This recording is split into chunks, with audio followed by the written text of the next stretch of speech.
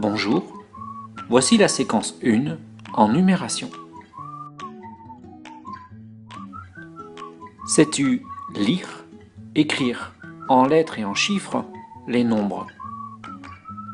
En CE2, tu as appris à lire et écrire les nombres de 0 à 9999. Cette année, en CM1, nous allons continuer jusqu'au milliard. Rappelle-toi du tableau de numération. Tu devras souvent l'utiliser pour bien lire et écrire les nombres entiers.